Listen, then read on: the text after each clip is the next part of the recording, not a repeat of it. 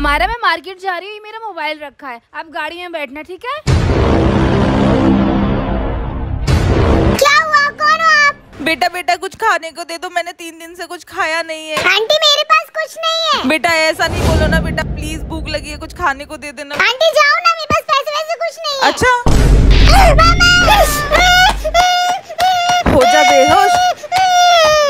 हो गई बेहोश। अब जल्दी से सारा सामान ले लेती हूँ।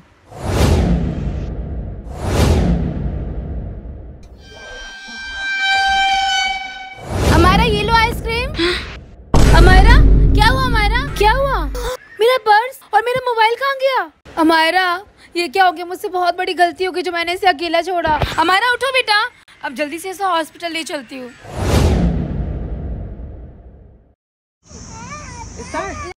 बेहोश हो जाओ बेहोश हो जाओ बेहोश हो जाओ। चलो आप बोलो फिर से करो यही।